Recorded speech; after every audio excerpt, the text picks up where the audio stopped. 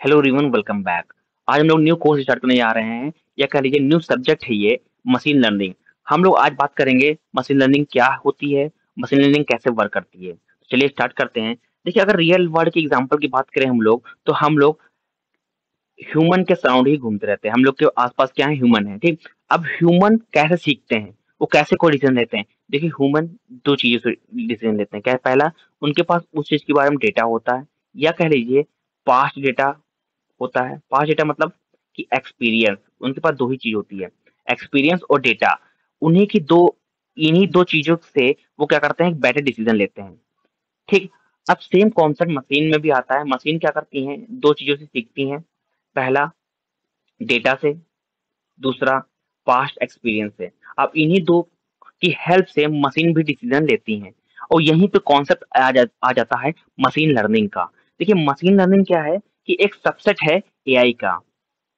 एक सबसेट है एआई का। और एआई क्या है? एक डेवलप्ड अल्गोरिथम है, जो कि हेल्प करती है कंप्यूटर को सीखने में। कहाँ से? उसके डेटा से और पास्ट एक्सपीरियंस से। ठीक? अगर बात करें कि फ़र्स्ट टाइम मशीन लर्निंग कब इंट्रोड्यूस हुआ था? ये 1959 में इंट्रोड्यूस हुआ था। ये ऑर्थो नाम के साइंटिस्ट के थ्रू इसको इंट्रोड्यूस कराया गया था। अब बात कर लेते हैं कि इसको कैसे इस्तेमाल करते हैं। देखिए मशीन लर्निंग में अगर बात करें मशीन लर्निंग में दो चीज़ें बहुत इंपॉर्टेंट पहला ट्रेनिंग डेटा ट्रेनिंग डेटा देखिए ट्रेनिंग डेटा क्या होता है? एक हिस्टोरिकल डेटा होता है कि जो जिसको हम लोग बोलते हैं ट्रेनिंग डेटा हिस्टोरिकल डेटा मतलब क्या होता है कि उनके पास पहले से डेटा है। उ, उसको हम लोग क्या करेंगे? ट्रेन करेंगे। उसको हम लोग बताएँगे कि उनको क्या करना है। इसको बोलते हैं ट्रेनिंग डेटा देन हम लोग मशीन लर्निंग एल्गोरिथम को बिल्ड करेंगे। वो कैसे बिल्ड करेंगे? उसको बिल्ड करेंगे एक मैथमेटिकल मॉडल के थ्रू मैथमेटिकल मॉडल के थ्रू उसको बिल्ड करेंगे मशीन लर्निंग एल्गोरिथम अब यही दो चीज़ों के काम आते इन्हीं दो चीज़ों के हेल्प से हम लोग मशीन को हम बताते हैं क्या है? डिसीज़न मेकिंग बनाते हैं और उसको डिसीज़न लेने में इसी दो चीज़ों से हेल्प मिलती है। ठीक? अब ये कैसे कर, काम करता है वो जानते हैं। देखिए हमारे पास एक डायग्राम है। इसमें क्या है? इनपुट पास डेटा है। देखिए हमारे पास क्या है? इनपुट पास डेटा है। हम लोग क्या करते हैं, उसी डेटा को, ये कौन सा डेटा है? हिस्टोरिकल डेटा है कि हमारे पास ऑलरेडी डेटा है। अब इसी डेटा को हम लोग क्या करते हैं ट्रेन करते हैं। अब ट्रेन करने के लिए हम लोग क्या लगती है? मशीन लर्निंग एल्गोरिथम लगती है। इसी मशीन लर्निंग एल्गोरिथम को हम लोग क्या बोलते हैं, किस चीज़ से बनाते हैं? मैथमेटिकल मॉडल्स बनाते हैं। हम लोग यहाँ पे मशीन लर्निंग मॉडल्स का इस्तेमाल करते हैं, यानी कि मैथमेटिकल मॉडल का इस्तेमाल करते हैं जिसकी वजह से जो डेटा को हम लोग ट्रेन करते हैं। ट्रेन करने के बाद हम लोग उसमें लॉजिक बिल्ड करते हैं, ठीक? ट्रेन करने के बाद जो थर्ड स्टेप होता है, उसमें लॉजिक बिल्ड करते हैं, ठीक? अब जो मशीन लर्निंग क्या हो गई? सीख गई। ठीक, थोड़ी बहुत उसको नॉलेज आ गया कि उसमें कैसे एक साइड एप्पल रखा हुआ है, ठीक? एप्पल है, ठीक? और दूसरी साइड अगर बात कर लीजिए एप्पल है डायग्राम सही बना नहीं। अगर अरे, एक साइड एप्पल रखा हुआ है, ठीक? और एक साइड कैट है, ठीक? अब इसको एक क्या एक ये कैट है ठीक? अब इसमें हम लोग ने क्या किया? डेटा है हमारे पास। बहुत सारे एप्पल का इमेज है, ठीक? मल्टीपल इमेज है एप्पल की और मल्टीपल इमेज है किसकी?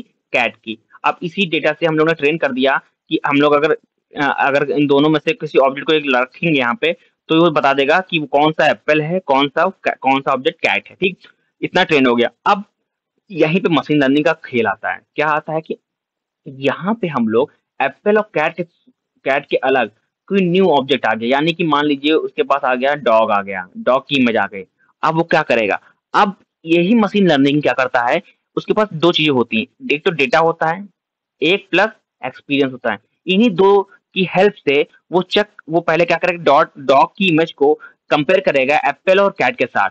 अगर वो पहले मैच हो जाएगा तो बता देगा कि कि ये एक, या तो एप्पल होगा या कैट होगा। अगर नहीं मैच करता है तो मशीन क्या करता है कि डॉग को as a third object declare कर देता है कि वो कोई, कुछ कोई ऑब्जेक्ट है, ठीक?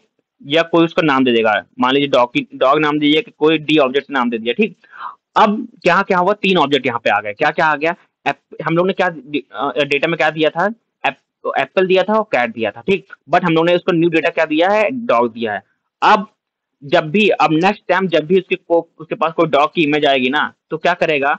कंपेयर करेगा किसमें किसमें कंपेयर करेगा एप्पल में कंपेयर करेगा कैट में कंपेयर करेगा और थर्ड ऑब्जेक्ट उसके पास आया था कैट डॉग में। उसके साथ कंपेयर करेगा। अगर डॉग अगर जो ऑब्जेक्ट है डॉग के साथ मैच हो जाएगा तो बोल देगा, ये जो डेटा है, ये थर्ड ऑब्जेक्ट के साथ मैच हो गई। यानी कि जो ऑब्जेक्ट के नेम है, कुछ ये एबीसी है, ठीक? नाउ फिर इसके बाद हम लोग क्या करेंगे? न्यू डेटा को यहाँ पे असाइन करेंगे। न्यू डेटा मान लीजिए हम लोग ने दे दिया मंकी दे दिया, ठीक? अब मशीन लर्निंग क्या करती है? कि अब मंकी को क्या करेगा? कंपेयर करेगा। किस किस के साथ कंपेयर करेगा? पहले एप्पल के साथ कंपेयर करेगा, ठीक? देन कैट के साथ कंपेयर करेगा। देन देखिएगा, दोनों में मैच नहीं हो रहा। देन थर्ड ऑब्जेक्ट के साथ मैच करेगा, जो कि डॉग है, उसके साथ मैच करेगा। इससे भी मैच नहीं होगा। तो क्या करेगा ये? मंकी को as a new object declare कर देगा। इसको फोर्थ ऑब्जेक्ट में रख देगा। अब यहाँ पे कॉन्सेप्ट देखिए। पहले हम लोग ने object one two three four की बात की। पहले हम लोग ने एप्पल और कैट को रखा। हम लोग ने क्या न्यू ऑब्जेक्ट क्या दिया? उसको डॉग दिया। न्यू ऑब्जेक्ट क्या दिया? हम लोग ने डॉग दिया। अब डॉग इसमें मैच नहीं हुआ। ऑब्जेक्ट वन में मैच नहीं हुआ। एप्पल के साथ मैच नहीं हुआ। कैट के साथ मैच नहीं हुआ। तो इसने क्या कर दिया? डॉग को एज अ थर्ड उसमें डाल दिया। थर्ड ऑब्जेक्ट में डाल दिया कि ये न्यू ऑब्जेक्ट है डॉग ठीक? नाउ अब हमने इसको इमेज में मंकी दिखाई। मंकी दिखाई तो इसने ऑब्जेक्ट ए के साथ मैच किया, नहीं मैच हुआ। ऑब्जेक्ट टू के साथ जो कैट थी उसके साथ मैच हुआ, नहीं मैच हुआ। देन ऑब्जेक्ट थ्री के साथ मैच करेगा, नहीं मैच हुआ। तो क्या करेगा मशीन लर्निंग अपने आप ही न्यू डेटा बनाने लगेगा। न्यू डेटा क्या? कि मंकी को क्या कर देगा? एक न्यू ऑब्जेक्ट में रख देगा। ऑब्जेक्ट नंबर फोर में रख देगा। इसको नाम दे देगा कि मंकी मंकी ऐसा दिखता है। ठीक? नाउ हम लोग अगर फिर डेटा को देते हैं, मान लीजिए डेटा दे दिए एलिफेंट का। एलिफेंट का डेटा दे दिए। अभी फिर मैच करेगा कि पहले ऑब्जेक्ट के साथ दूसरे ऑब्जेक्ट के साथ मैच करके नहीं मैच हुआ डॉग के साथ मैच करेगा, नहीं मैच हुआ, फिर फोर्थ ऑब्जेक्ट के साथ मैच करेगा, जो मंकी वो नहीं मैच नहीं मैच होगा तो क्या करेगा मशीन लर्निंग खुद से एक नया ऑब्जेक्ट क्रिएट करेगा फिफ्थ नाम का, और एलिफेंट को वहाँ पे डिक्लेयर कर देगा, वहाँ पे उसको स्टोर कर देगा कि ये इमेज एलिफेंट की होती है, ठीक? अब लास्ट टाइम अगर फिर से हम लोग ने एलिफेंट की एग्ज़ाम इमेज हम लोग ने दी है, ठीक? अब क्या करेगा, इसको कंपेयर करेगा मशीन लर्निंग कंपेयर करेगा तीनों साथ बट लास्ट में ऑब्जेक्ट फाइव के साथ इमेज मैच हो जाएगी, क्योंकि हम लोग ने उसके पहले ही एक एक इमेज एलिफेंट की दी थी, जो कि मशीन लर्निंग ने सबके साथ कंपेयर किया था और सबके साथ कंपेयर नहीं हुआ, ठीक? तो उसने क्या किया मशीन लर्निंग ने खुद एक न्यू ऑब्जेक्ट बना दिया कि ये बोल दिया कि जो, अब जो, ये जो नया ऑब्जेक्ट है, इसको मंकी बोलते हैं, ठीक? अब जो इमेज अगर इसी तरह की कोई इमेज आएगी तो वो क्या होगा? मंकी होगा। ठीक?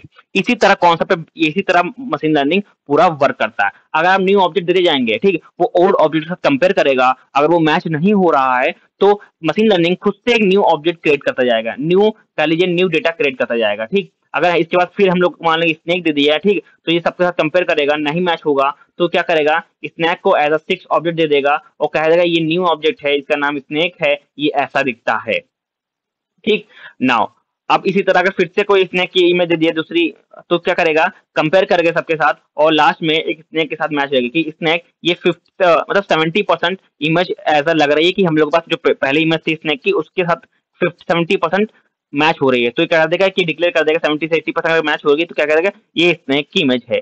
अदरवाइज़ अगर मैच नहीं करेगा तो एज आ वो न्यू ऑब्जेक्ट में डाल देगा। यही होता है मशीन लर्निंग नाउ आज हम लोग ने सिर्फ़ बेसिक की बात की। हम लोग फिर से बात नेक्स्ट वीडियो में बात करेंगे कि इसमें कितने टाइप के क्या होते हैं। नीड्स ऑफ़ मशीन लर्निंग क्या होता है कि, और क्लासिफिकेशन ऑफ़ मशीन लर्निंग क्या होता है। ये सब चीज़ों में हम लोग बात करेंगे नेक्स्ट वीडियो में। Thank you everyone